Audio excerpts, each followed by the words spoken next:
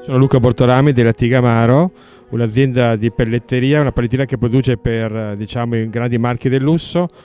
Uh, sono qui al Global Forum per parlare di distretti, per parlare di distretti marchigiani, distretti umbri, ma più che altro per parlare di competenze.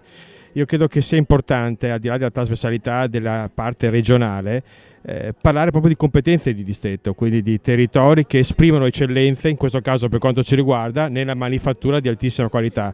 E credo che sia l'Umbria sia le Marche abbiano queste competenze. L'importante è farle eh, tenere in vita, farle rivivere dove necessario e investire perché soprattutto le nuove generazioni credano e si avvicinino a questi mondi.